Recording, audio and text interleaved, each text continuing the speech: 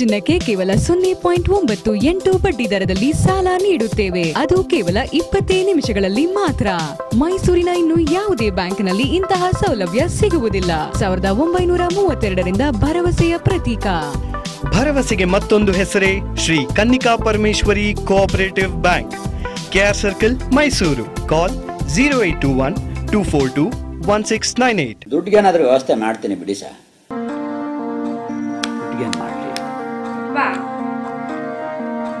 ಯಾಕೆ ಯೋಚನೆ ಮಾಡ್ತೀರಾ? ನನ್ ಮದ್ವೆಗೆ ಅಂತ ಇಟ್ಟಿರೋ ಚಿನ್ನನ ಶ್ರೀ ಕನ್ನಿಕಾ ಪರಮೇಶ್ವರಿ ಕೋಆಪರೇಟಿವ್ ಬ್ಯಾಂಕ್ ಅಲ್ಲಿ ಇಟ್ಟು ಸಾಲ ತಗೊಳ್ಳೋಣ. ಅಲ್ಲಿ ತಿಂಗಳಿಗೆ ಒಂದ್ ರೂಪಾಯಿಗಿಂತ ಕಡಿಮೆ ಬಡ್ಡಿ. ಅಲ್ಲದೆ ಇಪ್ಪತ್ ನಿಮಿಷಕ್ಕೆ ಸಾಲ ಸಿಗುತ್ತಪ್ಪ?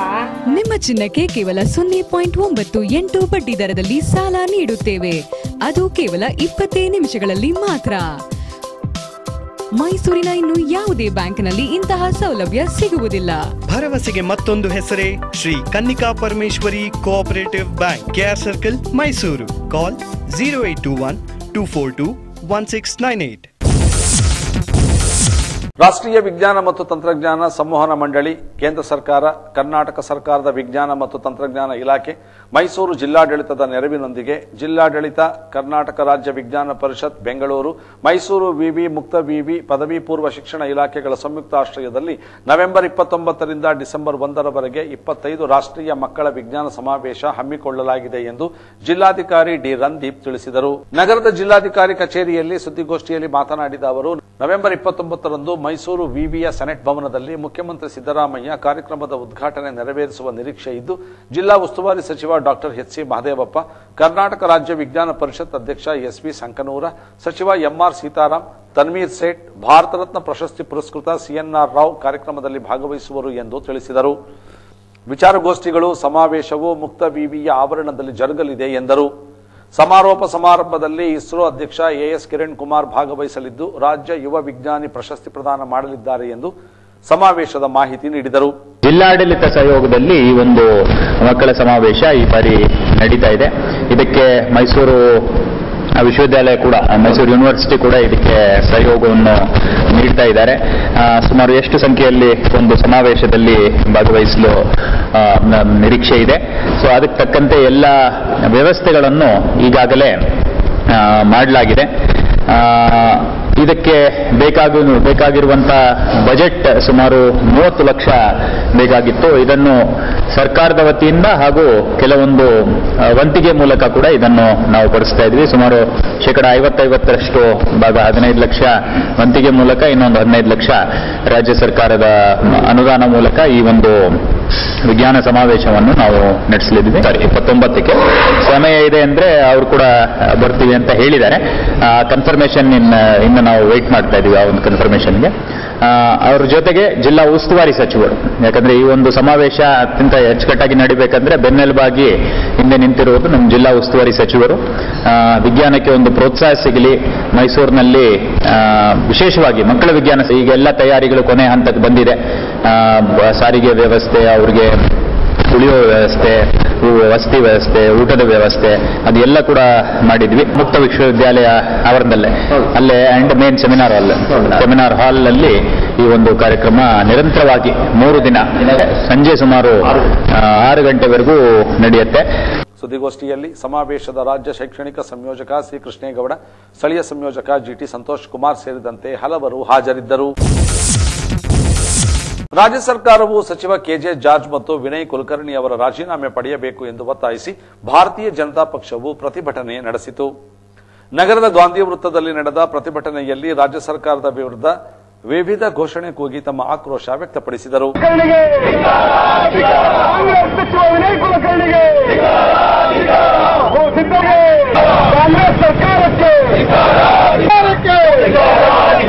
ಈ ಸಂದರ್ಭದಲ್ಲಿ ಮಾತನಾಡಿದ ಬಿಜೆಪಿ ನಗರಾಧ್ಯಕ್ಷ ಡಾಕ್ಟರ್ ಮಂಜುನಾಥ್ ಡಿವೈಎಸ್ಪಿ ಆತ್ಮಹತ್ಯೆ ಪ್ರಕರಣದಲ್ಲಿ ಸಚಿವ ಜಾರ್ಜ್ ಹಾಗೂ ಬಿಜೆಪಿ ಜಿಲ್ಲಾ ಪಂಚಾಯತ್ ಸದಸ್ಯ ಯೋಗೀಶ್ ಗೌಡರ ಹತ್ಯೆಯಲ್ಲಿ ಸಚಿವ ವಿನಯ್ ಕುಲಕರ್ಣಿ ಕೈವಾಡವಿರುವುದು ಮೇಲ್ನೋಟಕ್ಕೆ ಕಂಡುಬರುತ್ತಿದೆ.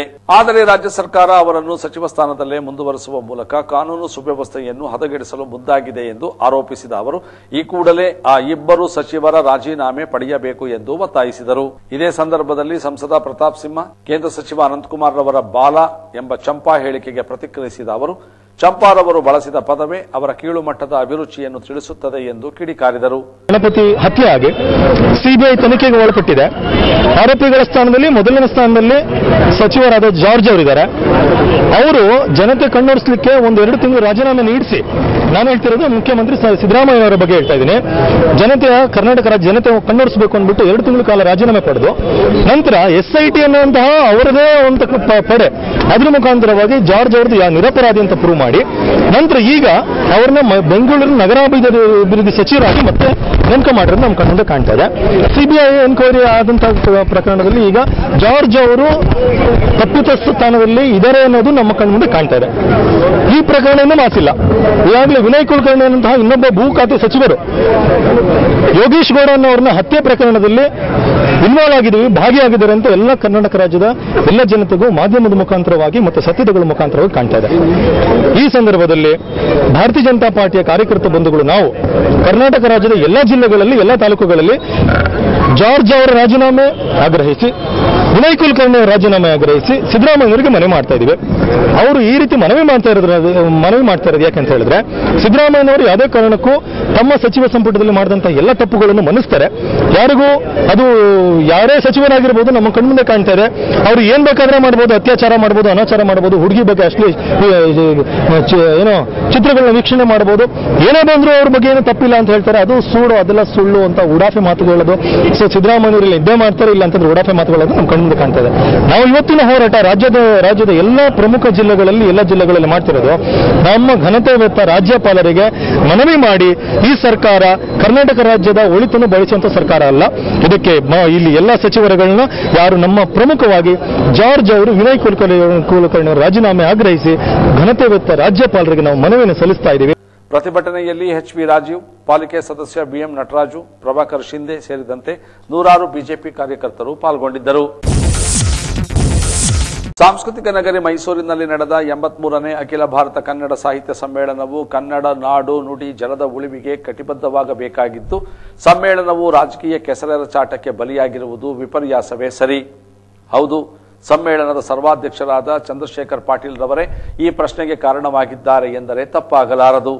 ಸಮ್ಮೇಳನದ ಉದ್ಘಾಟನಾ ವೇದಿಕೆಯಲ್ಲಿ ಮಾತನಾಡಿದ ಅವರು ಪರೋಕ್ಷವಾಗಿ ಸಿಎಂ ಸಿದ್ದರಾಮಯ್ಯರವರನ್ನು ಮೆಚ್ಚಿಸುವ ಭರದಲ್ಲಿ ಬಿಜೆಪಿ ಪಕ್ಷವನ್ನು ತೆಗಳಿದರು. ಈ ಕುರಿತು ಸಮ್ಮೇಳನದ ಸಮಾರೋಪ ಸಮಾರಂಭದಲ್ಲಿ ಮಾತನಾಡಿದ ಕೇಂದ್ರ ಸಚಿವ ಅನಂತಕುಮಾರ್, ಎಲ್ಲಾ ಜಾತ್ಯಾತೀತ ಪಕ್ಷ ವಿಚಾರವನ್ನು ಕನ್ನಡ ಮೀರಿ ನಿಂತಿದೆ. ಇಂತಹ ವೇದಿಕೆಯಲ್ಲಿ ಡೋಂಗಿ ಜಾತ್ಯಾತೀತ ಭಾಷಣ ಮಾಡಬಾರದು. ಇಲ್ಲಿ ರಾಜಕೀಯ ಬೇಡ. ಸಮ್ಮೇಳನದ ಭಾಷಣವನ್ನು ಆರೂವರೆ ಕೋಟಿ ಮಂದಿ ವೀಕ್ಷಣೆ ಮಾಡುತ್ತಾರೆ ಎಂದು ಕೇಂದ್ರ ಸಚಿವ ಅನಂತಕುಮಾರ್ ವೇದಿಕೆಯಲ್ಲೇ ಚಂಪಾರವರಿಗೆ ತಿರುಗೇಟು ನೀಡಿದರು. ಅಲ್ಲದೆ ಸಾಹಿತ್ಯ ಸಮ್ಮೇಳನಕ್ಕೆ ರಾಜವಂಶಸ್ಥರನ್ನು ಆಹ್ವಾನಿಸದಕ್ಕೆ ಭುವನೇಶ್ವರಿ ತಾಯಿಗೆ ಪೂಜೆ ಸಲ್ಲಿಸದ್ದಕ್ಕೆ ಬೇಸರ ವ್ಯಕ್ತಪಡಿಸಿದರು. ಕನ್ನಡ ಅದೊಂದು ರಾಷ್ಟ್ರೀಯ ಪ್ರಜ್ಞೆಯ ಭಾಗ, ಅದೊಂದು ರಾಷ್ಟ್ರೀಯ ವಿಚಾರದ ಭಾಗ.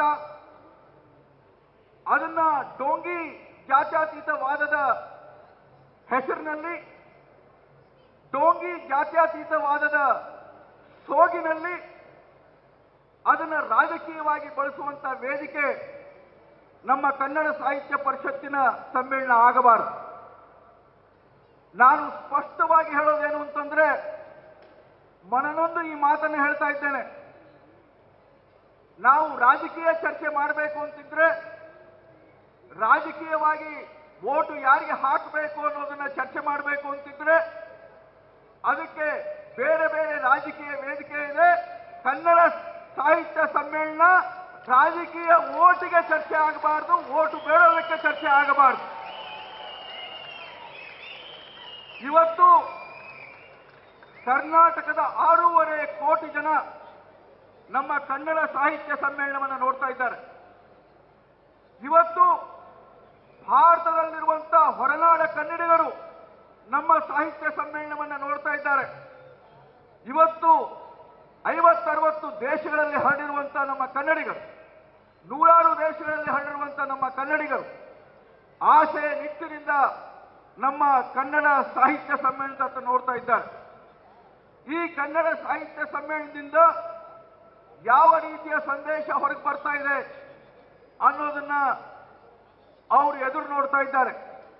ನಾನು ಕನ್ನಡ ಸಾಹಿತ್ಯ ಪರಿಷತ್ತಿನ ಅಧ್ಯಕ್ಷರಾದಂಥ ಸನ್ಮಾನ್ಯ ಮನು ಬಳಿಗಾರ್ ಅವರಲ್ಲಿ ಈ ಸಮ್ಮೇಳನದಲ್ಲಿ ಭಾಗವಹಿಸ್ತಾ ಇರುವಂತ ಎಲ್ಲ ಸಾಹಿತಿಗಳು, ವಿಚಾರವಂತರು, ಶಿಕ್ಷಣ ತಜ್ಞರು, ಜನಪ್ರತಿನಿಧಿಗಳು ತಮ್ಮೆಲ್ಲರಲ್ಲಿ ವಿನಂತಿ ಮಾಡಿಕೊಳ್ಳೋದೇನು ಅಂತಂದ್ರೆ ಡೋಂಗಿ ಜಾತ್ಯಾತೀತವಾದವನ್ನ ಪ್ರಚಾರ ಮಾಡಲಿಕ್ಕೆ ಈ ವೇದಿಕೆಯ ದುರುಪಯೋಗ ಮಾಡಬೇಡಿ, ರಾಜಕಾರಣ ಮಾಡಲಿಕ್ಕೆ ಈ ವೇದಿಕೆಯ ದುರುಪಯೋಗವನ್ನು ಮಾಡಬೇಡಿ ಎನ್ನುವಂತ ಮಾತನ್ನು ನಾನು ಹೇಳಲಿಕ್ಕೆ ಇಷ್ಟಪಡ್ತಾ ಇದ್ದೇನೆ.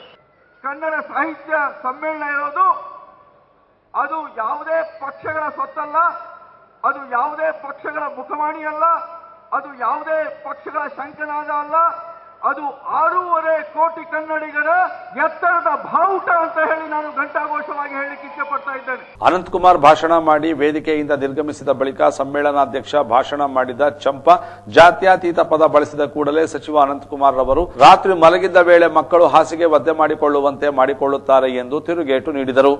ಅಲ್ಲದೆ ಸಂಸದ ಪ್ರತಾಪ ಸಿಂಹ ಅನಂತಕುಮಾರ್ ಜೊತೆ ನಿರ್ಗಮಿಸಿದ್ದಕ್ಕೆ ಅವರ ಬಾಲ ಎಂದು ಚಾಟಿ ಬೀಸಿದ್ದಾರೆ. ಒಟ್ಟಾರೆ ಅಖಿಲ ಭಾರತ ಕನ್ನಡ ಸಾಹಿತ್ಯ ಸಮ್ಮೇಳನವು ಈ ಬಾರಿ ರಾಜಕೀಯ ಚರ್ಚೆಗೆ ಹೆಚ್ಚು ಗ್ರಾಸವಾಗಿದ್ದು ವಿಪರ್ಯಾಸವೇ ಸರಿ. ಕೇಂದ್ರ ಸಚಿವ ಅನಂತಕುಮಾರ್ ಕನ್ನಡಕ್ಕಾಗಿ ದುಡಿಯುತ್ತಿದ್ದಾರೆ. ವಿಶ್ವಸಂಸ್ಥೆಯಲ್ಲಿಯೂ ಕನ್ನಡದ ಬಗ್ಗೆ ಮಾತನಾಡಿದ್ದರು. ಸೆಕ್ಯುಲರ್ ಗೊತ್ತಿಲ್ಲ ಎನ್ನುತ್ತಿರುವ ಪ್ರೊಫೆಸರ್ ಚಂದ್ರಶೇಖರ್ ಪಾಟೀಲ ಕೂಡಲೇ ಕ್ಷಮೆ ಯಾಚಿಸಬೇಕು ಎಂದು ಸಂಸದ ಪ್ರತಾಪ ಸಿಂಹ ಮೈಸೂರಿನಲ್ಲಿ ಒತ್ತಾಯಿಸಿದ್ದಾರೆ. ಮಾಧ್ಯಮಗಳೊಂದಿಗೆ ಮಾತನಾಡಿದ ಅವರು, ಸಚಿವ ಅನಂತಕುಮಾರ್ ಅವರು ಬ್ಯಾಂಕ್ ಪರೀಕ್ಷೆಯನ್ನು ಕನ್ನಡದಲ್ಲೇ ನಡೆಸಬೇಕೆಂದು ಒತ್ತಾಯ ಮಾಡುತ್ತಿದ್ದಾರೆ. ಗಣಕೀಕರಣ ಮಾಧ್ಯಮವಾಗಿ ಕನ್ನಡವನ್ನು ಬೆಳೆಸೋಣ ಎಂದು ಮೋದಿ ಜೊತೆ ಚರ್ಚೆ ನಡೆಸಿದ್ದಾರೆ. ನೆಲ ಜನದ ಪರವಾಗಿ, ಕರ್ನಾಟಕದ ಪರವಾಗಿ ನಿಂತಿದ್ದು ಮೋದಿ ಸರ್ಕಾರವೇ. ಚಂಪಾ ಬಿಟ್ಟು ಬೇರೆಯವರು ಅಧ್ಯಕ್ಷರ ಸ್ಥಾನದಲ್ಲಿದ್ದರೆ ಅನಂತಕುಮಾರ್ ರವರ ಬೆನ್ನು ತಟ್ಟುತ್ತಿದ್ದರು ಎಂದು ಕಿಡಿಕಾರಿದರು ಚಂಪಾರವರೇ, ನೀವು ಭಾಷಣದಲ್ಲಿ ಹೇಳಿದರಲ್ಲ, ನಮ್ಮ ಸೆಕ್ಯುಲರ್ ಬಗ್ಗೆ ನಿಮಗೆ ಜ್ಞಾನವಿಲ್ಲ. ಭುವನೇಶ್ವರಿಗೆ ಪೂಜೆ ಹಾಗೂ ಪೇಟವನ್ನು ಧಿಕ್ಕರಿಸಿದ್ದೀರಿ. ಮೈಸೂರಿಗೆ ಯಾಕೆ ಬರಬೇಕಿತ್ತು? ಎಲ್ಲಾ ಕಡೆ ನಿಮ್ಮ ಫ್ಲೆಕ್ಸ್ಗಳು ರಾರಾಜಿಸುತ್ತಿವೆ. ಮೈಸೂರಿನ ರಾಜವಂಶದವರನ್ನು ಹಾಗೂ ಕನ್ನಡದ ಹಿರಿಯ ಸಾಹಿತಿ ಎಸ್ ಎಲ್ ಭೈರಪ್ಪರವರನ್ನು ಯಾಕೆ ಸಮ್ಮೇಳನಕ್ಕೆ ಆಹ್ವಾನಿಸಲಿಲ್ಲ? ಈ ಕೂಡಲೇ ಚಂಪಾರವರು ಅನಂತಕುಮಾರ್ ಅವರನ್ನು ಕ್ಷಮೆ ಯಾಚಿಸಬೇಕು ಎಂದು ಒತ್ತಾಯಿಸಿದರು. ಚಂಪವ್ರನ್ನ ಕೇಳಿ ಹಿಂದೆ ಶತಾವಧಾನಿ ಗಣೇಶ್ ಅವ್ರ ಬಗ್ಗೆ ಅವ್ರು ಮಾತಾಡಿದಾಗ ನನಗೂ ಅವರಿಗೂ ಒಂದು ಸರಿ ಆಗಿದೆ. ಅವರಿಗೆ ಯಾವ ರೀತಿ ಉತ್ತರ ಕೊಟ್ಟಿದ್ದೀನಿ ಅನ್ನೋದು ಅವ್ರಿಗೆ ಗೊತ್ತಿದೆ ಭಾಳ ಚೆನ್ನಾಗಿ. ಆಯಿತಾ? ಆನಂತರ ರಾಜಿ ಮಾಡ್ಕೊಂಡವರು ಇವರೇ. ಅದನ್ನು ಚೆನ್ನಾಗಿ ಅವ್ರು ನೆನ್ಪಿಟ್ಕೊಳ್ಳಿ. ಆಯಿತಾ? ಮುಂದುವರ್ಸಿರೋ ನಮಗೆ ನಾವು ಇವತ್ತಿವರು ಅವ್ರ ಅವ್ರ ಹತ್ರ ಬಾಣ ಬಿಡ್ಬೋದು. ನಾವು ಕಾರ್ಪೆಟ್ ಬಾಂಬಿಂಗೇ ಮಾಡ್ತೀವಿ. ಕಾರ್ಪೆಟ್ ಬಾಂಬಿಂಗೇ ಮಾಡ್ತೀವಿ. ನಾವು ಬ್ಲಾಸ್ಟ್ ಮಾಡ್ತೀವಿ ಎಲ್ಲ ಕಡೆ ಅವರಿಗೆ. ಬಿಡಲ್ಲ ನಾವು ಅವರಿಗೆ. ನೋಡ್ರಿ, ಬೌದ್ಧಿಕ ದಿವಾಳಿತನ ಇರೋರೇ ಬ ಒಂದು ನಾಲ್ಕು ಅವಾಚ್ಯ ಶಬ್ದಗಳು, ಸಭ್ಯತೆ ಗೆರೆಯನ್ನು ಮೀರಿದಂಥ ಮಾತುಗಳನ್ನು ಆಡೋ ಮುಖಾಂತರ ಇಷ್ಟೆಲ್ಲ ಇದು ಮಾಡ್ತಾರೆ ಅಂತಂದರೆ, ನಮಗೂ ಕೂಡ ಅವರ ಮಾತುಗಳನ್ನು ಖಂಡಿಸುವಂಥ ಅವರನ್ನು ವಿತ್ ಡಾಕ್ಯುಮೆಂಟ, ಅವರನ್ನು ನಾವು ಕೌಂಟ್ರ್ ಮಾಡುವಂಥ ಶಕ್ತಿ ನಮಗೂ ಇದೆ. ನಮ್ಮ ಕಣ್ಣು ಕಿವಿ ಸಮಾಜದಲ್ಲಿ ಇರುವಂಥ ಎಲ್ಲ ಸಮಾಜಘಾತಕ ಶಕ್ತಿಗಳ ಮೇಲೂ ಕೂಡ ನಾವು ಕಣ್ಣಿಟ್ಟಿರ್ತೀವಿ. ಯಾಕಂದ್ರೆ ಈ ದೇಶನ ಉಳಿಸ್ಬೇಕು, ಈ ಸಂಸ್ಕೃತಿ ಉಳಿಸ್ಬೇಕು ಅಂದರೆ ಸಮಾಜದಕ್ಕೆ, ಭಾಷೆಗೆ ಶಾಂತಿಗೆ ಕಂತಕವಾಗಿರೋರ ಮೇಲೆ ಎಲ್ಲ ಕಣ್ಣಿಟ್ಟೇ ಇಟ್ಟಿರ್ತೀವಿ. ಅದಕ್ಕೆ ನೋಡಿ, ಮೋದಿ ಸರ್ಕಾರ ಬಂದಾದ್ಮೇಲೆ ಇಡೀ ದೇಶದೊಳಗಡೆ ಒಂದೇ ಒಂದು ಬಾಂಬ್ ಬ್ಲಾಸ್ಟ್ ಆಗಿಲ್ಲ. ಅವ್ರಿಗೆ ಹೇಳಿ. ನಾವು ಕೂಡ ವ್ಯಾಪಕವಾಗಿ ಅವ್ರನ್ನ ಖಂಡಿಸ್ತೀವಿ. ಇದೊಂದು ಕಡೆ ಅಂತಲ್ಲ, ಅವ್ರು ಒಂದು ವೇದಿಕೆನಲ್ಲಿ ಬಳಸ್ಕೊಳ್ಬೋದು. ನಮ್ಮ ಹತ್ರ ನಾವು ಹತ್ತಾರು ಜನ ಮಾತಾಡೋವಂಥವ್ರು ಇದ್ದೀರ, ನಾವೇನು ಸುಮ್ಮನೆ ಕೂತ್ಕೊಳ್ಳೋದಿಲ್ಲ. ಕೇಳ್ಕೊಳ್ಳಿ ಅವರು. ಕನ್ನಡಕ್ಕೆ ಕಂಟಕ ಬಂದಿರೋರನ್ನ ಕ ಕನ್ನಡ ಭಾಷೆಗೆ ಕಂಟಕವನ್ನು ಮಾಡ್ತಿರೋವಂಥವ್ರು ಅಥವಾ ಅಲ್ಲಿ ತಾಯಿ ಭುವನೇಶ್ವರಿಗೆ ಅವಮಾನ ಮಾಡಿದಂಥವ್ರು ಯಾರು? ಕೈಸೂರಿಗೆ ಬಂದು ಒಂದು ಫೇಟನ್ನು ತೊಟ್ಟರೆ ಯಾರು ಅಲ್ಲ, ಇಲ್ಲಿ ನಮಗೆ ನಿಸಾರ್ ಅಹಮದ್ ಅವ್ರು ಬಂದಿದ್ದರು ತಾಯಿ ಚಾಮುಂಡೇಶ್ವರಿ ಇದಕ್ಕೆ ಇಲ್ಲಿ ಬಂದು ಆ ಜಾಗಕ್ಕೂ ಕೂಡ ಬಂದರು. ಭಾಷಣವನ್ನು ಮಾಡಿದರು. ನಾವು ಯಾಕೆ ಅವ್ರನ್ನ ಪ್ರೀತಿಯಿಂದ ಒಪ್ಕೊಳ್ತೀವಿ? ಕನ್ನಡದು ನೆಲ, ಜಲ ಈ ಸಂಸ್ಕೃತಿಯನ್ನು ಒಪ್ಕೊಂಡಿರೋಂಥವ್ರು ಅವರು. ನಮಗೆ ಅವರ ನಿತ್ಯೋತ್ಸವನ ನಾವು ಕೇಳಿದಾಗ ನಮಗೆ ಅಭಿಮಾನ ಬರುತ್ತೆ ನಮಗೆ. ಎಷ್ಟು ಬಂದು ಎಷ್ಟು ಚಂದವಾಗಿ, ಎಷ್ಟು ಸಭ್ಯವಾಗಿ ದಸರಾವನ್ನು ಉದ್ಘಾಟನೆ ಮಾಡಿ ಹೋದರು. ಒಂದು ಈ ಈ ಜಾಗಕ್ಕೆ ಬಂದಾದಮೇಲೆ be a Roman when you're Rome ಅಂತಾರಲ್ಲ ಹಾಗೆ ಎಲ್ಲಿದ್ದು ಹೋದಾಗ ಅಲ್ಲಿದು ಸಂಸ್ಕಾರ, ಅಲ್ಲಿದು ಒಂದು ಒಂದು ಏನೋ ಒಂದು ಪರಂಪರೆ ಅಂತಿದೆ. ಅದಕ್ಕೆ ಗೌರವ ಕೊಡೋದನ್ನು ಕಲ್ತ್ಕೊಳ್ಬೇಕು. ಅಗೌರವ ಕೊಡೋದ್ರಿಂದ ನಿಮ್ಮ ಗೌರವ ಜಾಸ್ತಿ ಆಗೋದಿಲ್ಲ. ನಿಸಾರ್ ಅಹಮದ್ ಅವ್ರ ಹತ್ರದಿಂದ ಕಲೀಲಿಕ್ಕೆ ಹೇಳಿ ಇದು ಇಲ್ಲಿ ಮಾತ್ರ ಅಲ್ಲ, ನೀವು ಎಲ್ಲ ನೋಡಿ ಅಲ್ಲಿ ಶಿವಮೊಗ್ಗದಲ್ಲಿ ಆಗಿತ್ತಲ್ಲ. ಬಹುಶಃ ಏಳೆಂಟು ವರ್ಷದಿಂದನೇ ಆಗಿತ್ತು ಅನಿಸುತ್ತೆ ಅದು. ಆ ಸಮ್ಮೇಳನದಿಂದಲೂ ಕೂಡ ಆಗಲೂ ನಕ್ಸಲೈಟ್ಗಳ ಬಗ್ಗೆ ಭಾಳ ಮಾತಾಡಿಕೊಂಡು ಎಲ್ಲ ನಡೆದಿತ್ತು. ಆಯಿತಾ? ಈಗ ಪರಿಸ್ಥಿತಿ ಏನಾಗಿದೆ ನಿಮ್ಗೆ ಗೊತ್ತಿದೆ? ಇದು ರಾಜಕೀಯ ಆಗುವಂಥದ್ದು.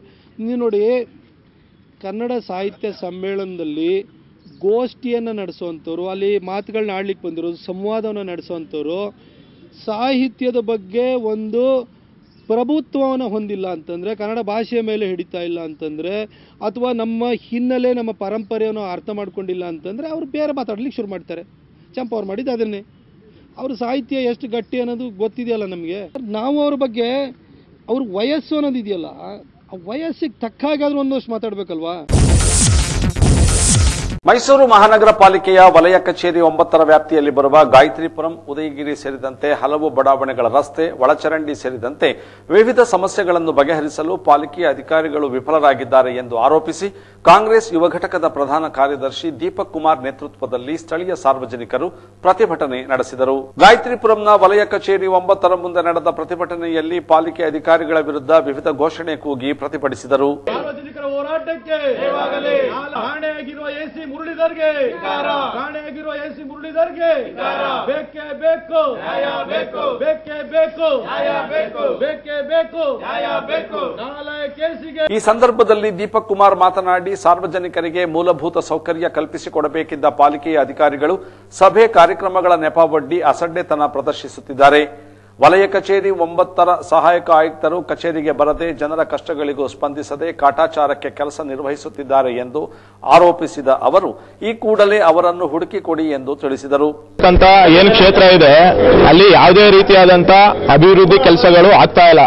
ಮತ್ತೆ ಮೂಲಭೂತ ಸೌಕರ್ಯಗಳು ಕೂಡ ಯಾವುದೇ ರೀತಿಯಾದಂತ ಸಾರ್ವಜನಿಕರಿಗೆ ತಲುಪ್ತಾ ಇಲ್ಲ. ಎಸಿ ಅವರು ಯಾವುದೇ ಯಾವುದೇ, ಯಾವತ್ತೇ ಬಂದ್ರೂ ಎಸಿ ಅವರು ಆ ಮೀಟಿಂಗ್ ಅಲ್ಲಿ ಇದೀನಿ ಈ ಮೀಟಿಂಗ್ ಅಲ್ಲಿ ಇದೀನಿ ಆ ಇನ್ಸ್ಪೆಕ್ಷನ್ ಅಲ್ಲಿ ಇದೀನಿ ಆಮೇಲೆ ರೌಂಡಿಂಗ್ಸ್ ಅಲ್ಲಿ ಇದೀನಿ ಅಂತ ಹೇಳ್ತಾರೆ. ಆದ್ರೆ ಎಲ್ಲೂ ಕೂಡ ನಾವು ಒಂದಿನೂ ಕೂಡ ಈ ವ್ಯಾಪ್ತಿಯಲ್ಲಿ ಬರ್ತಕ್ಕಂಥ ಒಂಬತ್ತು ವಲಯದಲ್ಲಿ ಯಾವತ್ತೂ ಕೂಡ ಅವರು ಕಾಣಿಸ್ಕೊಂಡಿಲ್ಲ.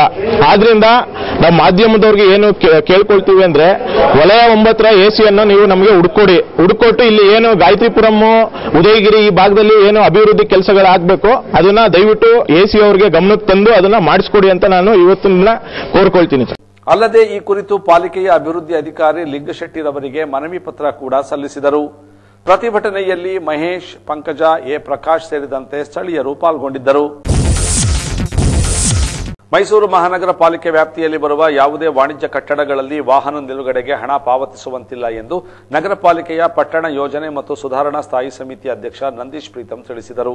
ಮೈಸೂರು ನಗರ ಪಾಲಿಕೆಯ ಸಭಾಂಗಣದಲ್ಲಿ ಸಭೆಯನ್ನು ಉದ್ದೇಶಿಸಿ ಮಾತನಾಡಿದ ಅವರು, ಮೈಸೂರಿನ ಹಲವು ವಾಣಿಜ್ಯ ಕಟ್ಟಡಗಳ ವಾಹನ ನಿಲುಗಡೆಗೆ ಉಚಿತ ಸ್ಥಳಾವಕಾಶ ಕಲ್ಪಿಸದೆ ಗ್ರಾಹಕರು ತಮ್ಮ ವಾಹನಗಳನ್ನು ರಸ್ತೆ ಬದಿಗಳಲ್ಲಿ ನಿಲ್ಲಿಸುತ್ತಿದ್ದು, ಇದರಿಂದ ಸಾರ್ವಜನಿಕರ ಸಂಚಾರಕ್ಕೆ ತೊಂದರೆಯಾಗುತ್ತಿರುವುದನ್ನು ಮನಗಂಡಿರುವ ಪಾಲಿಕೆಯ ಪಟ್ಟಣ ಯೋಜನೆ ಸ್ಥಾಯಿ ಸಮಿತಿಯು ಮೇ ಮೂವತ್ತರಂದು ವಾಣಿಜ್ಯ ಕಟ್ಟಡಗಳು, ಉಚಿತ ವಾಹನ ನಿಲುಗಡೆಗೆ ಸ್ಥಳಾವಕಾಶ ಕಲ್ಪಿಸುವ ಬಗ್ಗೆ ಕೌನ್ಸಿಲ್ ಸಭೆಗೆ ಮಂಡಿಸಿದ್ದು ಪ್ರಸ್ತಾವನೆಯನ್ನು ಅಂಗೀಕರಿಸಲಾಗಿದೆ. ಈ ಸಂಬಂಧ ಇಂದಿನಿಂದಲೇ ವಾಣಿಜ್ಯ ಕಟ್ಟಡಗಳು ನಿಯಮಾವಳಿಗೆ ಅನುಗುಣವಾಗಿ ವಾಹನ ನಿಲುಗಡೆಗೆ ಉಚಿತ ಅವಕಾಶ ಕಲ್ಪಿಸಬೇಕು ಎಂದು ಆದೇಶ ಮಾಡಿದರು. ಅಲ್ಲದೆ ತೆರಿಗೆ ವಂಚಿತ ಸಂಸ್ಥೆಗಳ ಮೇಲೆ ನಿರ್ದಾಕ್ಷಿಣ್ಯ ಕ್ರಮ ಕೈಗೊಳ್ಳಲು ಪಾಲಿಕೆ ನಿರ್ಧರಿಸಿದೆ ಎಂದು ತಿಳಿಸಿದರು. ಇಂದು ಮೈಸೂರು ನಗರದ ವ್ಯಾಪ್ತಿಯೊಳಗೆ ಯಾವ ಕಮರ್ಷಿಯಲ್ ಬಿಲ್ಡಿಂಗ್ಗಳಲ್ಲೂ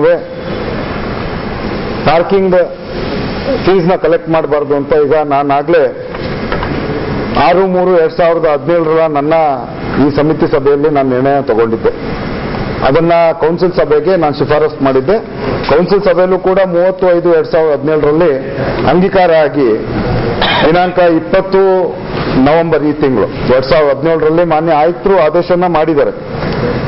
ಮುಂದೆ ಯಾವ ಮಾಲ್ಗಳಲ್ಲಾಗ್ಲಿ, ಯಾವುದೇ ಕಮರ್ಷಿಯಲ್ ಬಿಲ್ಡಿಂಗ್ಗಳಲ್ಲಾಗ್ಲಿ ಯಾವುದೇ ಕಾರಣಕ್ಕೂ ಅದನ್ನ ಪಾರ್ಕಿಂಗ್ನ ಕಲೆಕ್ಟ್ ಮಾಡಬಾರ್ದು ಅಂತ. ಅದರಂತೆ ಇವತ್ತು ನಾವು ಈ ಸಭೆಯಲ್ಲಿ ಒಂದು ಜಾಹೀರಾತನ್ನ ಕೊಟ್ಟು, ಸಾರ್ವಜನಿಕರಿಗೆ ಅರಿವು ಮೂಡಿಸುವಂತ ನಿಟ್ಟಿನಲ್ಲಿ ಜಾಹೀರಾತನ್ನ ಕೊಟ್ಟು ಸಾರ್ವಜನಿಕರನ್ನು ಒಂದು ದೃಶ್ಯ ದೃಶ್ಯ ಮಾಧ್ಯಮ ಮತ್ತೆ ಪ್ರಿಂಟ್ ಮೀಡಿಯಾ ಈ ಎರಡರ ಮೂಲಕನೂ ಕೂಡ ಸಾರ್ವಜನಿಕರಿಗೆ ಆ, ಮಂದಟ್ಟಾಗೋಂಗೆ ನಾವು ಅದೊಂದು ಅಡ್ವರ್ಟೈಸ್ಮೆಂಟ್ ಕೊಡೋಕ್ಕೆ ಈ ಸಭೆ ನಿರ್ಣಯ ತಗೊಂಡಿದೆ. ಸೊ ಇನ್ನು ಮುಂದೆ ಯಾವುದೇ ಕಾರಣಕ್ಕೂ ಮೈಸೂರು ನಗರದ ವ್ಯಾಪ್ತಿಯೊಳಗೆ ಮೈಸೂರು ಮಹಾನಗರ ಪಾಲಿಕೆ ವ್ಯಾಪ್ತಿಯೊಳಗೆ ಯಾವ ಕಮರ್ಷಿಯಲ್ ಸೆಟಪ್ ಅಲ್ಲಿ ನಿಮಗೆ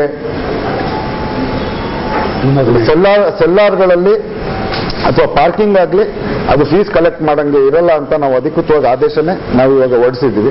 ಯಾವ್ಯಾವ ಸರ್ವಿಸ್ ಪ್ರೊವೈಡರ್ಸ್ ನಮ್ಮ ನಗರ ಪಾಲಿಕೆ ವ್ಯಾಪ್ತಿಯೊಳಗೆ, ಅಂದ್ರೆ ಏರ್ಟೆಲ್ ರಿಲಯನ್ಸ್ ಐಡಿಯಾ ವೋಡೋಫೋನ್ ಈ ತರ ಯಾರ್ಯಾರು ಬ್ರಾಡ್ಬ್ಯಾಂಡ್ ಕನೆಕ್ಷನ್ಗಳು ನಮ್ಮ ನೆಲದ ಮೇಲೆ ಲೈನ್ಗಳನ್ನ ಎಳ್ಕೊಂಡು ಹೋಗಿದ್ದಾರೆ. ಯಥೇಚ್ಛವಾಗಿ ಅವರು ಅವ್ರ ಕಂಪನಿಗಳಿಗೆ ಹಣನ ಮಾಡ್ತಾ ಇದ್ದಾರೆ. ಆದರೆ ನಗರ ಪಾಲಿಕೆಗೆ ನಮಗೆ ನೆಲಬಾಡಿಗೆ ಅಂತ ನಮಗೆ ಒಂದು ರೂಪಾಯಿ ದುಡ್ಡು ಕಟ್ತಾ ಇರಲ್ಲ. ಸೊ ಆ ಕಾರಣಕ್ಕಾಗಿ ಒಂದು ಕಿಲೋಮೀಟರ್ಗೆ ಒಂದು ಲಕ್ಷನ ಹಾಕಿದ್ದೀವಿ ಈಗಾಗಲೇ ನಾವು ಈಗಾಗಲೇ ಅನುಮತಿ ಕೊಟ್ಟಿರುವಂಥದ್ದು ಹತ್ತತ್ರ ಒಂದು ಆರ್ನೂರು ಕಿಲೋಮೀಟರ್ವರೆಗೂ ನಾವು ಅನುಮತಿನ ಕೊಟ್ಟಿದ್ದೀವಿ ಆರ್ನೂರಿಂದ ಏಳ್ನೂರು ಕಿಲೋಮೀಟರ್ವರೆಗೂ.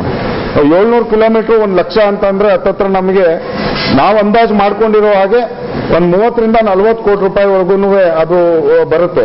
ಅದಕ್ಕಿಂತ ಹೆಚ್ಚನ್ನು ನಿರೀಕ್ಷೆ ಮಾಡಿದ್ದೀವಿ ಪಾಲಿಕೆಗೆ ನಾವು ಹತ್ತತ್ರ ಒಂದು ಐವತ್ತು ಕೋಟಿ ರೂಪಾಯಿ ಪ್ರತಿ ವರ್ಷ ಆದಾಯ ಬರೋಂಗೆ ಈ ಸಭೆ ನಿರ್ಣಯ ತಗೊಂಡಿದೆ.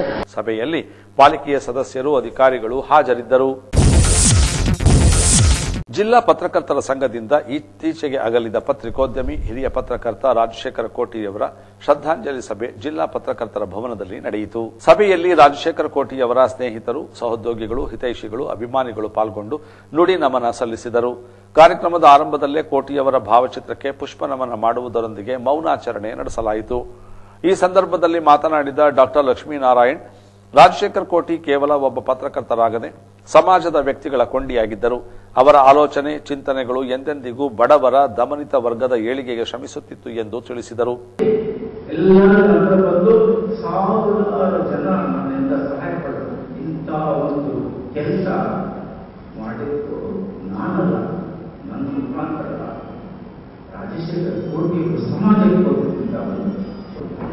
ಹೀಗಾಗಿ ಒಮ್ಮೆ ಹೇಗೆ ದುಡ್ಡು ರಾಜಶೇಖರ್ ಕೋಟಿಯವರು ಅಂತಂದ್ರೆ ಬಹಳ ಸರಳ ವ್ಯಕ್ತಿ ಅವ್ರ ತಂದೆ ತಾಯಿಯವರು ಒಂದ್ಸಲ ಕಾಯಿಲೆ ಬಂದಿದ್ರು ಮೇಲಂಗೇರಿಯಲ್ಲಿ ಕುಂಭಗಜ್ಜರ ಹತ್ರ ಅವ್ರ ಮನೆ ಇತ್ತು ಅವಾಗ ನಮ್ಮ ರವಿಯವರು ಹುಟ್ಟಿರಲಿಲ್ಲ ಅವ್ರ ತಂದೆ ತಾಯಿ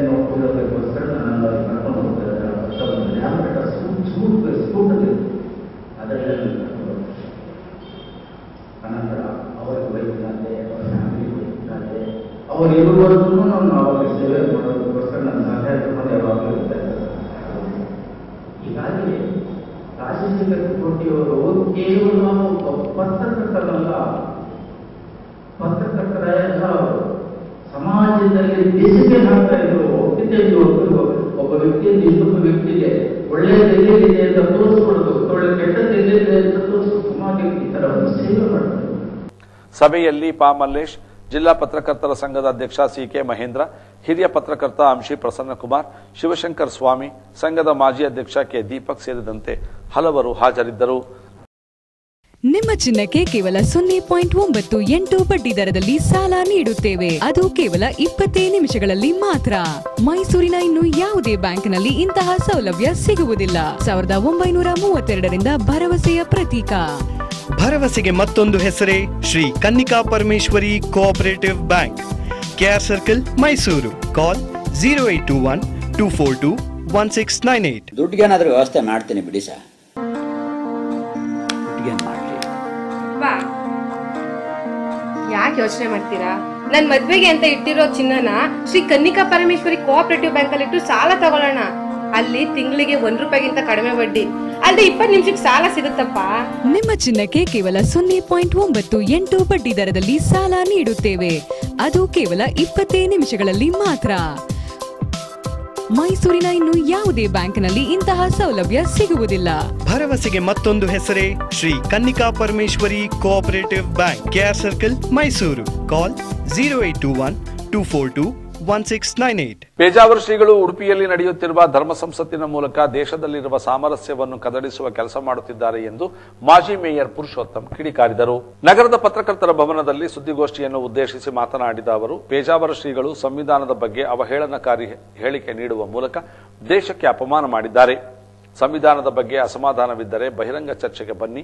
ಸಂವಿಧಾನದಲ್ಲಿ ಲೋಪವಿದ್ದರೆ ಆ ಬಗ್ಗೆ ಸಂಸತ್ನಲ್ಲಿ ಚರ್ಚೆ ನಡೆಸಿ ತಿದ್ದುಪಡಿ ತರಬೇಕೆ ಹೊರತು ಹಾದಿ ಬೀದಿಯಲ್ಲಿ ಕೇವಲ ಪ್ರಚೋದನೆಗಾಗಿ ಸಂವಿಧಾನದ ಅಪಮಾನ ಮಾಡುವುದು ತರವಲ್ಲ.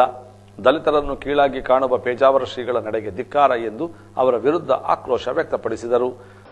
ಸಂವಿಧಾನನೇ ಮೂಲ ಅಂತಕ್ಕಂಥ ಅರಿವಿಲ್ಲದೆ ಸಂವಿಧಾನದ ಬಗ್ಗೆ ಅವಹೇಳನಕಾರಿಯಾಗಿ ಮಾತನಾಡ್ತಕ್ಕಂಥದ್ದು ಶೋಭೆ ತಾವು ಮಾತನಾಡಿ ಸಂಘಟನೆಗಳು ವಿರುದ್ಧ ತಿರುಗಿಬಿದ್ದಂಥ ಸಂದರ್ಭದಲ್ಲಿ ಮತ್ತೆ ನಾನು ಸಂವಿಧಾನದ ವಿರುದ್ಧ ಮಾತನಾಡಿಲ್ಲ ಅಂತಕ್ಕಂಥ ಎಡಿಎ ಮಾತನಾಡ್ತಕ್ಕಂಥದ್ದು ಕೂಡ ಇದು ಒಂದು ರೀತಿ ಗೋಸುಂಬೆ ಆಟ ಅಂತ ಅಂದರೂ ಕೂಡ ಹೇಳಬೇಕಾಗ್ತದೆ. ಒಬ್ಬರೇ ಬರೆದಿದ್ದಾರೆ ಅಂತಕ್ಕಂಥದಕ್ಕೆ ಒಂದು ದೊಡ್ಡ ವೇದಿಕೆ ಆಗಲಿ, ಆ ಚರ್ಚೆಗೆ ಬಂದು ಕೂತ್ಕೊಳ್ಳಿ ನಾವು ಕೂಡ ಸಿದ್ಧವಿದ್ದೀವಿ. ಅಂಬೇಡ್ಕರ್ ಅವರು ಈ ದೇಶಕ್ಕೆ ಸಂವಿಧಾನವನ್ನು ಬರೀಬೇಕಾದ್ರೆ ಎಲ್ಲೋ ಕುಂತಿ ನಿಂತಿ ಸ್ವತಃ ಬರೆದಂಥವ್ರಲ್ಲ. ಇಲ್ಲಿ ಒಂದು ಏನಾಗಿದೆ ಅಂತ ಹೇಳಿದ್ರೆ ಈ ಚುನಾವಣೆ ಸಂದರ್ಭದಲ್ಲಿ ಅವ್ರದ್ದು ಒಂದು ಇಡನ್ ಅಜೆಂಡಾ ಆಗ್ಬಿಟ್ಟಿದೆ. ಏನು ಬಹುಸಂಖ್ಯಾತ ಇರ್ತಕ್ಕಂಥ ಈ ರಾಷ್ಟ್ರದಲ್ಲಿ ಏನು ಹಿಂದುಳಿದ ವರ್ಗ ಹಿಂದುಳಿದ ವರ್ಗ ಅವ್ರನ್ನ ನಮ್ಮಿಂದ ದೂರ ಮಾಡಬೇಕು ಅಂತಕ್ಕಂಥದ್ದೇ ಈ ದಲಿತರಿಂದ ದೂರ ಮಾಡಬೇಕು, ಅಂಬೇಡ್ಕರಿಂದ ದೂರ ಮಾಡಬೇಕು ಅಂತಕ್ಕಂಥದ್ದು ಒಂದು ಕುತಂತ್ರ ಅಂತ ಈ ಸಂದರ್ಭದಲ್ಲಿ ತಿಳಿಸ್ಬೇಕಾಗ್ತದೆ. ಅದನ್ನ ನಮ್ಮೆಲ್ಲ ಹಿಂದುಳಿದ ವರ್ಗದವ್ರು ಅರ್ಥ ಮಾಡ್ಕೋಬೇಕು. ನಾವೇನಾದರೂ ಕೂಡ ಅಂಬೇಡ್ಕರ್ ಯಾವ್ದಾದ್ರು ಕೂಡ ಒಂದು ಸಂವಿಧಾನ ವಿರುದ್ಧವಾಗಿ ಮಾತನಾಡಿದ್ರೆ, ಅವ್ರಿಗೆ ಒಂದು ಅಪಪ್ರಚಾರ ಆದರೆ ದಲಿತರು ಮಾತ್ರ ಬೀದಿಗಿಳಿತಾರೆ ಅಂತಕ್ಕಂಥ ಒಂದು ಸಂದೇಶ ಇವತ್ತು ಬಹಳಷ್ಟು ಜನರಿಗೆ ಹುಟ್ಟಾಕೊಂಡಿದ್ದಾರೆ ನಾವು ಅಷ್ಟೇ ಅಲ್ಲ, ಈ ದೇಶದ ಪ್ರತಿಯೊಬ್ಬ ಪ್ರಜೆನೂ ಕೂಡ ಅದಕ್ಕೆ ಭಾಗವಹಿಸಬೇಕು, ಅದನ್ನು ಪ್ರಶ್ನೆ ಮಾಡ್ತಕ್ಕಂಥದ್ದಾಗಬೇಕು. ಇವತ್ತೆಲ್ಲ ಒಂದು ಕಡೆ ಆಗ್ತಾ ಇಲ್ಲ. ನಾವು ಮಾತ್ರ ಸೀಮಿತವಲ್ಲ ಇದಕ್ಕೆ. ಇಡೀ ದೇಶದ ನೂರ ಮೂವತ್ತು ಕೋಟಿ ಜನಸಂಖ್ಯೆ ಇದರ ಪಾಲ್ಗಾರರು ಅಂತಕ್ಕಂಥದನ್ನ ಇವತ್ತು ಅರ್ಥ ಮಾಡ್ಕೋಬೇಕು. ಬಹುಸಂಖ್ಯಾತರಿಗೆ ಈ ಸಂವಿಧಾನ ಹಕ್ಕನ್ನು ಕೊಟ್ಟಿಲ್ಲ ಅಂತ ಹೇಳಿದ್ರೆ ಯಾರು ಕೊಟ್ಟಿಲ್ಲ ಅಂತಕ್ಕಂಥದನ್ನ ಬಹಿರ, ಬಹಿರಂಗವಾಗಿ ವ್ಯಕ್ತಪಡಿಸಬೇಕು. ಸ್ವಾಮೀಜಿಗಳು. ಸುದ್ದಿಗೋಷ್ಠಿಯಲ್ಲಿ ಎವಿಎಸ್ಎಸ್ ಅಧ್ಯಕ್ಷ ತುಂಬಲ ರಾಮು ದಲಿತ ಸಂಘರ್ಷ ಸಮಿತಿ ಸಂಚಾಲಕ ಮಂಜುನಾಥ್ ಹಾಜರಿದ್ದರು. ಕರ್ನಾಟಕ ರಾಜ್ಯ ಸರ್ಕಾರಿ ನೌಕರರ ಸಂಘದ ವತಿಯಿಂದ ಸರ್ಕಾರಿ ನೌಕರರ ಪ್ರತಿಭಾನ್ವಿತ ಮಕ್ಕಳಿಗೆ ಪ್ರತಿಭಾ ಪುರಸ್ಕಾರ ಹಾಗೂ ನಲವತ್ತೈದು ನೌಕರರಿಗೆ ಸೇವಾರತ್ನ ಪ್ರಶಸ್ತಿ ಪ್ರದಾನ ಸಮಾರಂಭವನ್ನು ನವೆಂಬರ್ ಇಪ್ಪತ್ತೊಂಬತ್ತರಂದು ಮೈಸೂರಿನ ಕಲಾಮಂದಿರದಲ್ಲಿ ಹಮ್ಮಿಕೊಳ್ಳಲಾಗಿದೆ ಎಂದು ಸಂಘದ ಗೌರವಾಧ್ಯಕ್ಷ ಎಚ್ ಕೆ ರಾಮು ತಿಳಿಸಿದರು. ನಗರದ ಧನ್ವಂತರಿ ರಸ್ತೆಯಲ್ಲಿರುವ ಸಂಘದ ಕಚೇರಿಯಲ್ಲಿ ಮಾತನಾಡಿದ ಅವರು, ಸರ್ಕಾರಿ ನೌಕರರ ಇನ್ನೂರೈವತ್ತು ಮಂದಿ ಪ್ರತಿಭಾನ್ವಿತ ವಿದ್ಯಾರ್ಥಿಗಳಿಗೆ ಪ್ರತಿಭಾ ಪುರಸ್ಕಾರ, ಪಾಲಿಕೆ ಆಯುಕ್ತ ಜೆ. ಜಗದೀಶ್ ಅಪರ ಜಿಲ್ಲಾಧಿಕಾರಿ ಟಿ ಯೋಗೀಶ್, ಮೂಡಾ ಆಯುಕ್ತ ಪಿಎಸ್ ಕಾಂತರಾಜು, ಕಂದಾಯ ಇಲಾಖೆ ಉಪವಿಭಾಗಾಧಿಕಾರಿ ಎಚ್ ಎನ್ ಶಿವೇಗೌಡ ಸೇರಿದಂತೆ ನಲವತ್ತೈದು ಮಂದಿ ಸರ್ಕಾರಿ ನೌಕರರಿಗೆ ಸೇವಾರತ್ನ ಪ್ರಶಸ್ತಿ ಪ್ರದಾನ ಹಾಗೂ ಕನ್ನಡ ರಾಜ್ಯೋತ್ಸವ ಕಾರ್ಯಕ್ರಮವನ್ನು ಏರ್ಪಡಿಸಿದ್ದು, ಜಿಲ್ಲಾ ಉಸ್ತುವಾರಿ ಸಚಿವ ಡಾಕ್ಟರ್ ಎಚ್ ಸಿ ಮಾದೇವಪ್ಪ ಕಾರ್ಯಕ್ರಮ ಉದ್ಘಾಟಿಸಲಿದ್ದಾರೆ. ಸಚಿವ ತನ್ವೀರ್ ಸೇಠ್, ವಿಧಾನ ಪರಿಷತ್ ಉಪಸಭಾಪತಿ ಮರಿತಿಬ್ಬೇಗೌಡ, ಸಂಘದ ರಾಜ್ಯಾಧ್ಯಕ್ಷ ಬಿಪಿ ಮಂಜೇಗೌಡ ಸೇರಿದಂತೆ ಹಲವು ಗಣ್ಯರು ಕಾರ್ಯಕ್ರಮದಲ್ಲಿ ಭಾಗವಹಿಸಲಿದ್ದಾರೆ ಎಂದು ತಿಳಿಸಿದರು. ನೌಕರ ಸಂಘದ ವತಿಯಿಂದ ಮುಂಬರುವ ಇಪ್ಪತ್ತೊಂಬತ್ತು, ಹನ್ನೊಂದು, ಎರಡು ಸಾವಿರದ ಹದಿನೇಳರಂದು ಮೈಸೂರು ಕಲಾಮಂದಿರದಲ್ಲಿ ಮಧ್ಯಾಹ್ನ ನಾಲ್ಕು ಮೂವತ್ತು ಗಂಟೆಗೆ ಸರಿಯಾಗಿ ಮಾನ್ಯ ಜಿಲ್ಲಾ ಉಸ್ತುವಾರಿ ಸಚಿವರು ಹಾಗೂ ಲೋಕೋಪಯೋಗಿ ಸಚಿವರ ಒಂದು ಉದ್ಘಾಟನೆಯೊಡನೆ ಕನ್ನಡ ರಾಜ್ಯೋತ್ಸವ ಹಾಗೂ ಮಕ್ಕಳ ಪ್ರತಿಭಾ ಪುರಸ್ಕಾರ ಕಾರ್ಯಕ್ರಮ ಹಾಗೂ ನಮ್ಮ ಸರ್ಕಾರಿ ನೌಕರರು ಸೇವೆ ಸಲ್ಲಿಸ್ತಾ ಇರ್ತಕ್ಕಂಥವ್ರಿಗೆ ಗುರುತಿಸಿ ಅವರ ಸೇವೆಗೆ ಸೇವಾರತ್ನ ಪ್ರಶಸ್ತಿಯನ್ನ ನೀಡುವಂತಹ ಕಾರ್ಯಕ್ರಮವನ್ನು ಜಂಟಿಯಾಗಿ ಆಯೋಜಿಸಿಕೊಂಡಿದ್ದೀವಿ. ಈ ಉದ್ಘಾಟನೆಯನ್ನ ಮಾನ್ಯ ಜಿಲ್ಲಾ ಉಸ್ತುವಾರಿ ಸಚಿವರಾದಂತಹ ಡಾಕ್ಟರ್ ಎಚ್ ಸಿ ಮಾಧವ್ ಉದ್ಘಾಟನೆ ಮಾಡಲಿದ್ದಾರೆ. ಹಾಗೂ ಇದರ ಜೊತೆಯಲ್ಲಿ ನಮ್ಮ ನೌಕರ ಸೇವಾರತ್ನ ಪ್ರಶಸ್ತಿಯನ್ನ ಪ್ರಾಥಮಿಕ ಮತ್ತು ಪ್ರೌಢ ಶಿಕ್ಷಣ ಸಚಿವರಾದಂತಹ ತನ್ವಿ ಸೇಠ್ ಸರ್ ಅವರು ನೆರವೇರಿಸಿಕೊಡ್ತಾ ಇದ್ದಾರೆ. ಅದ್ರ ಜೊತೆಗೆ ಎಸ್ ಎಲ್ ಸಿ ಮಕ್ಕಳ ಪ್ರತಿಭಾ ಪುರಸ್ಕಾರವನ್ನ ಮಾನ್ಯ ನಮ್ಮ ರಾಜ್ಯದ ಅಧ್ಯಕ್ಷರಾದಂತಹ ಬಿ ಟಿ ಮಂಜೇಗೌಡರು ನೆರವೇರಿಸಿಕೊಡ್ತಾ ಇದ್ದಾರೆ. ಹಾಗೂ ಪಿಯುಸಿ ಮಕ್ಕಳಿಗೆ ವಿಧಾನ ಪರಿಷತ್ತಿನ ಉಪ ಸಭಾಪತಿಗಳಾದಂತಹ ಮರಿತಿಬ್ಬೇಗೌಡರು ನೆರವೇರಿಸಿಕೊಡ್ತಾ ಇದ್ದಾರೆ. ಮತ್ತೆ ಚಾಮರಾಜ ಕ್ಷೇತ್ರದ ವಿಧಾನಸಭಾ ಸದಸ್ಯರಾದಂತಹ ವಾಸೂರ್ ಅವರು ಪದವಿ ಮಕ್ಕಳಿಗೆ ಪ್ರಮಾಣ ಪತ್ರವನ್ನು ನೀಡ್ತಾ ಇದ್ದಾರೆ. ಇದ್ರ ಜೊತೆಗೆ ಮುಖ್ಯ ಅತಿಥಿಗಳಾಗಿ ವಸತಿ ಸಚಿವರಾದಂತಹ ಎಂ ಕೃಷ್ಣಪ್ಪನವರು ಭಾಗವಹಿಸ್ತಾ ಇದ್ದಾರೆ. ಸುದ್ದಿಗೋಷ್ಠಿಯಲ್ಲಿ ಸಂಘದ ಕಾರ್ಯದರ್ಶಿ ನಾಗಣ್ಣ ಸೇರಿದಂತೆ ಹಲವರು ಉಪಸ್ಥಿತರಿದ್ದರು. ಶುಭಂ ಎಲೆಕ್ಟ್ರಾನಿಕ್ ಶೋರೂಮ್ನ ವತಿಯಿಂದ ಗ್ರಾಹಕರಿಗಾಗಿ ಆಯೋಜಿಸಿದ್ದ ಶುಭಂ ಮಹೋತ್ಸವದ ಲಕ್ಕಿ ಡ್ರಾ ವಿಜೇತರಿಗೆ ಶುಭಂ ಮ್ಯಾನೇಜಿಂಗ್ ಡೈರೆಕ್ಟರ್ ಸಂಪತ್ ಕೊಠಾರಿ ನಗರದ ಪತ್ರಕರ್ತರ ಭವನದಲ್ಲಿ ಬಹುಮಾನ ವಿತರಿಸಿದರು. ಶುಭಂ ಮಳಿಗೆಯಲ್ಲಿ ಕಳೆದ ಆಗಸ್ಟ್ನಿಂದ ಮಹೋತ್ಸವ ನಡೆಯುತ್ತಿದ್ದು, ಅಂಗಡಿಗಳಲ್ಲಿ ಖರೀದಿ ಮಾಡಿದ ಗ್ರಾಹಕರಿಗೆ ಲಕ್ಕಿ ಕೂಪನ್ ಮೂಲಕ ಪ್ರತಿ ವಾರ ಬಹುಮಾನ ವಿತರಿಸಲಾಗಿತ್ತು. ಇದೇ ತರನಾಗಿ ಇಂದು ಹತ್ತು ಮಂದಿ ಲಕ್ಕಿ ಡ್ರಾ ವಿಜೇತರಿಗೆ ಅರ್ಧ ಕೆಜಿ ಬೆಳ್ಳಿ ವಿತರಿಸಿದರು. ಈ ಮಹೋತ್ಸವವು ಡಿಸೆಂಬರ್ ಮೂವತ್ತೊಂದರವರೆಗೂ ನಡೆಯಲಿದೆ ಎಂದು ತಿಳಿಸಿದರು. ಹುಂಡೆ ಕಾರು, ಮತ್ತೆ ಹತ್ತು ಮೋಟರ್ ಬೈಕ್ಸ್ ಸೊ ಅದನ್ನ ನಾವು ಮೂವತ್ತೊಂದು ಡಿಸೆಂಬರ್ ತನಕ ಎಕ್ಸ್ಟೆಂಡ್ ಮಾಡಿದ್ದೀವಿ ಸೊ ಅದು ತರ್ಟಿ ಫಸ್ಟ್ ಡಿಸೆಂಬರ್ ತನಕ ಆ ಸ್ಕೀಮ್ ಇನ್ನೂ ಇದೆ. ಸೊ ಅರ್ಧ ಕೆ ಜಿ ಬೆಲ್ಲಿ ಗೆದ್ದಿರೋ ಕಸ್ಟಮರ್ಸ್ ನಾವು ಇವತ್ತು ನಿಮ್ಮ ಮುಂದೆ ಎಲ್ಲರಿಗೂ ಹಂಚ್ತಾ ಇದ್ದೀವಿ. So one by one customers ಕರೆಸ್ತೀವಿ. ಕಾರ್ಯಕ್ರಮದಲ್ಲಿ ಯೋಗೀಶ್ ಬತೀಜಾ ಮೋಹನ್ ಕುಮಾರ್ ದೇವಿಲಾಲ್ ಹಿತೇಶ್ ಸೇರಿದಂತೆ ಹಲವರು ಹಾಜರಿದ್ದರು. ಉದ್ಯೋಗ ಮಾಹಿತಿ ಬ್ಯಾಂಕ್ ಆಫ್ ಬರೋಡಾ ಹುದ್ದೆಯ ಹೆಸರು ಹಿರಿಯ ಸಂಬಂಧ ನಿರ್ವಾಹಕ ಮತ್ತು ಗ್ರಾಹಕ ಸೇವಾ ಕಾರ್ಯನಿರ್ವಾಹಕ. ಖಾಲಿ ಹುದ್ದೆಗಳ ಸಂಖ್ಯೆ ಮುನ್ನೂರ ಮೂವತ್ತೇಳು. ಅರ್ಜಿ ಸಲ್ಲಿಸಲು ಕೊನೆಯ ದಿನಾಂಕ ಹನ್ನೆರಡು ಹನ್ನೆರಡು ಎರಡು ಸಾವಿರದ ಹದಿನೇಳು. ವೆಬ್ಸೈಟ್ ವಿಳಾಸ W W W dot bank of Baroda dot co dot in. ಉದ್ಯೋಗ ಮಾಹಿತಿ ರಿಸರ್ವ್ ಬ್ಯಾಂಕ್ ಆಫ್ ಇಂಡಿಯಾ. ಹುದ್ದೆಯ ಹೆಸರು ಸಂಶೋಧನಾ ಸ್ಥಾನಗಳು ಗ್ರೇಡ್ ಬಿ. ಖಾಲಿ ಹುದ್ದೆಗಳ ಸಂಖ್ಯೆ ಆರು. ಅರ್ಜಿ ಸಲ್ಲಿಸಲು ಕೊನೆಯ ದಿನಾಂಕ ಎಂಟು ಹನ್ನೆರಡು ಎರಡು ಸಾವಿರದ ಹದಿನೇಳು. ವೆಬ್ಸೈಟ್ ವಿಳಾಸ W W W dot R B I dot O R G dot in. ಒಂಬೈನೂರು ಹದಿನಾರು ಹಾಲ್ಮಾರ್ಕ್ ಚಿನ್ನದ ದರ, ಒಂದು ಗ್ರಾಂ ಚಿನ್ನ, ಎರಡು ಸಾವಿರದ ಏಳ್ನೂರ ಇಪ್ಪತ್ತೈದು ರೂಪಾಯಿ, ಒಂದು ಕೆ ಜಿ ಬೆಳ್ಳಿಯ ದರ, ನಲವತ್ತು ಸಾವಿರ ರೂಪಾಯಿ. ಮಾಹಿತಿದಾರರು ಪ್ರಕಾಶ್ ಜ್ಯುವೆಲ್ಲರ್ಸ್, ಅರಳಿಮರದ ಎದುರು ಶಿವರಾಂಪೇಟೆ ಮೈಸೂರು.